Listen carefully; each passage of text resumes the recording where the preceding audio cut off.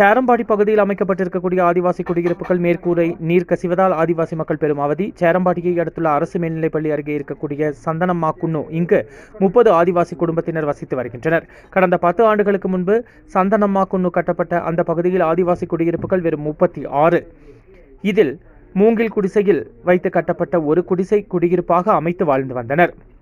இந்நிலையில் அவர்களுக்கு சம்பந்தப்பட்ட துறையினர் வீடுகள் கட்டித்தர நடவடிக்கை எடுக்க வேண்டும் என்று தன்னார்வலர்கள் கேட்டுக்கொண்டுள்ளனர். வீடு பூரா ஒழுகுது. எனக்கு வீடு கட்ட சரியில்லை. இது தண்ணி எல்லாம் ஒழுகுது. உள்ளுக்கு படுக்க முடியாது. படுத்தா வயல் தான் வரும். கரண்ட் இல்லை. கரண்ட் இல்லை. ஊரை சுற்றியும் எல்லாம் உடஞ்சிருச்சு. மேலே அதுக்கு பசை ஓட்டாலுமே அது அப்படியே இருக்குது பொடிய பொடியாக இருக்குது இல்லாட்டில் மேலே ஓடு பதுக்கணும் இல்லாட்டில் இல்லை தானி தண்ணி நிற்கிது தண்ணி நிற்கிது அப்படியே ஒழுகுது. சுமர்கிட்டையும் எல்லாம் எல்லாம் ஒழுகுது. சொப்பரெல்லாம் உடஞ்சிருச்சு.